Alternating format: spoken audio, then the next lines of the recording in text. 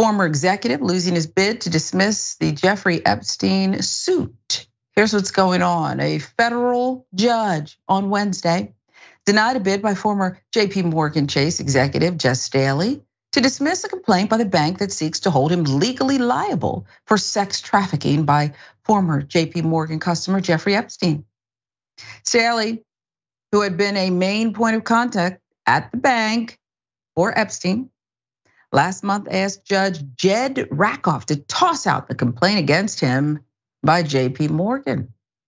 Now, the ruling in US District Court in Manhattan came two days before JP Morgan CEO Jamie Dimon, scheduled to be deposed in lawsuits by the government of the US Virgin Islands and an Epstein accuser against the bank over its relationship with the late predator.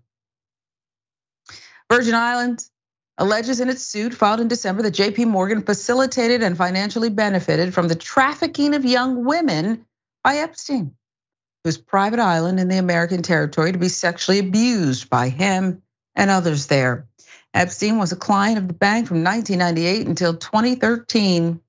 In March, as part of his legal response, its legal response to the Virgin Islands lawsuit and the similar one by the Jane Doe accuser, JP Morgan filed a so-called third party complaint against Staley.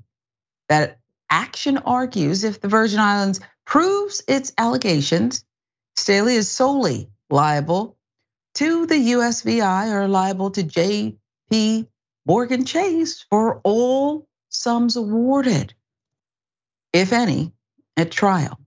Suit also seeks to claw back more than $80 million in compensation Staley received from the bank where he worked for three decades. Staley has denied knowing about Epstein's sex trafficking. He served as CEO of Barclays from 2015 until 2021, when he quit after British financial regulators investigated his ties to Epstein. Epstein died from suicide inside a Manhattan jail August 2019, weeks after being arrested on federal child sex trafficking charges. I don't know how to feel about this one, Jordan, because I don't really see good people, okay? JP Morgan Chase or Staley. I don't necessarily want him to pay if they get hit. I want them both on the hook. So this doesn't give me a lot of joy. What do you think?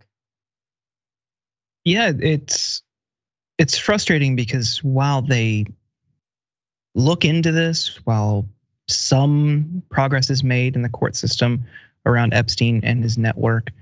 It does seem like the most powerful and influential people and entities aren't ever on the hook for this kind of stuff. And the right loves to trot out Epstein and the entire scandal as some, you know, gotcha for their political enemies. They love, you know, obviously they love to point to the Clintons for their ties to Epstein but they always look away when it's people that are ultimately on their side, whether it's Donald Trump, his connections to Epstein, Elon Musk, or you know, big banks. Let's see it. Let's see you go after every single person and entity who was connected to Epstein. Do it. If that's if you care so much about this, I say go for it. Go after the big banks. Go after the big banks who finance this guy and kept his money and ultimately knew what he was doing. Go after Trump, go after Musk, go after the Clintons. I don't care. I have no allegiance to any of these people. If you really want to root out every single person that was connected to him, start with the banks, start with Trump, start with Musk. Go for it. I couldn't agree more. And I don't know why, but I almost choked on the 80 less we expected 80 million dollars over a couple decades. It's just it's filthy. At this point it's just become filthy. Okay? You are filthy rich. And it really sucks because I want everyone to have the American dream. But when there's such disparity, okay, and there's no morals apparently, and no empathy or care for other people in a lot of these cases, it just, it's just reeks, it stinks. And I don't know what to do about it, but it seems to me it must be pretty hard to get a judge to agree that this guy be on the hook for what an entire bank, that entire entity would be looking at. I would think if it were you or I, we wouldn't necessarily get the benefit of a ruling like that, but I could be wrong, Jordan. Give you the last word. No, you're absolutely right. I mean, even back to the financial crisis. No bank, no CEO got in trouble. It was a couple people, but that was it.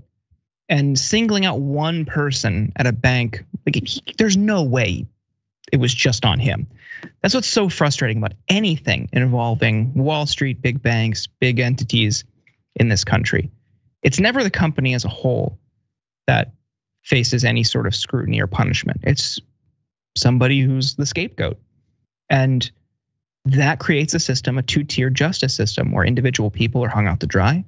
But these massive, colossal entities that are funding or involved in deep evils in society never face any punishment.